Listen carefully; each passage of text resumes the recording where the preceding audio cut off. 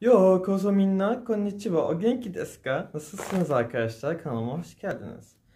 Bugün sizinle birlikte Wakanda Forever filmini, fragmanı izleyeceğiz. Biliyorsunuz geçen yıl Chadwick Boseman aramızdan ayrıldığı için da şöyle bir şey Bu aslında Puma, tamam. Ama dedim ona be, ona yakın bir şey giyeyim. Ondan sonra sizinle birlikte fragmanı da izlemiş oluruz. Bayağı güzel bir filme benziyor zaten Am, yani Chat Bosfi'yi yani Kara Panter'i anmayla alakalı bir film diyebilirim ama güzel. İlk, ilk o zaman başlıyoruz.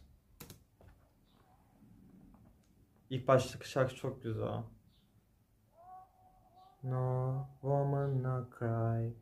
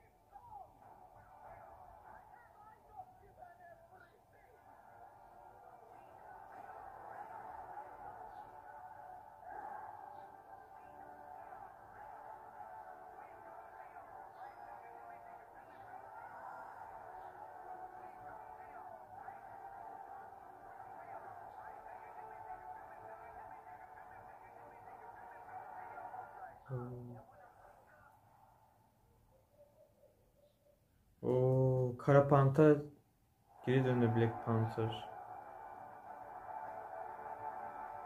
Çok güzel bir şey olmuş gerçekten de fragman. Bayağı güzel fragman olmuş. Zaten en sonda gördüğünüz e, Black Panther'ın kıyafetini giyen birisi var. Büyük ihtimalle şöyle bir düşünce var. Kız kardeşin giydiğine e, yani kız kardeşi bir süreliğine işte Kara, e, Black Panther olarak ortalıklarda onun anısını yad etmek amacıyla onun kıyafetini giyip kahramanlık yaptığını düşünüyoruz. Neymar'ı görüyoruz. Atlantisliler artık Marvel ev, evlerine de geliyor. Ama nasıl işleyecekler bilmiyorum. Büyük ihtimalle annelerinin e, Atlantislilerle bir alakası olabilir diye düşünüyorlar. Çoğunlukla filmin zaten çoğunluğu denizin altına geçiyor. Bir de denizin üstüne geçiyor. Güzel bir film. Yani bayağı bir duygusal bir film olacak. Çünkü o, e, birisinin anısına yapıldığı için güzel, ya, tam tadında bence çok hoş bir film olacağına inanıyorum ben. O zaman arkadaşlar diğer videolarda görüşmek üzere. Kanalı beğenmeyi ve abone olmayı unutmayın lütfen. Sizleri çok selamlar buradan ve görüşürüz arkadaşlar. さよなら。みんな。